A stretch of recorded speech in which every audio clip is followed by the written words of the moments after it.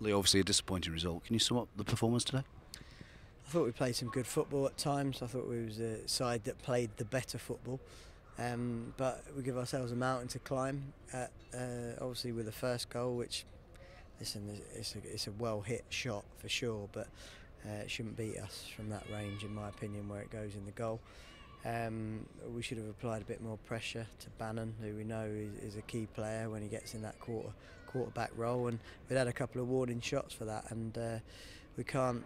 We shouldn't have to give ourselves a, a, big leg up, if you like, by taking that punch on the nose uh, like we have in the last two games, and uh, we've got to be better than that. Created numerous chances, numerous really, really good chances, and uh, got to take them. It's as simple as that. It's hard for me to criticise the players in terms of, of work rate today because they worked their socks off and uh, they kept going, um, played the better football, but inevitably we didn't have the quality to finish our chances. When you go go down after 17 and then another one, it's, it's hard to get back into it, isn't it?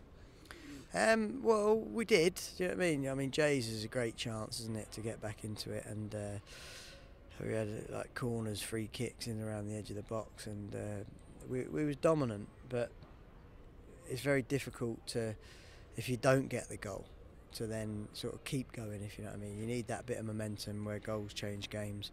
And, um, unfortunately, today uh, we took, like I say, two punches on the noses at bad times. Final message as we head into you know, what's going to be a, a big game against Derby. Go again. Simple. Go again. Um, you know what I mean? There's no frustration there.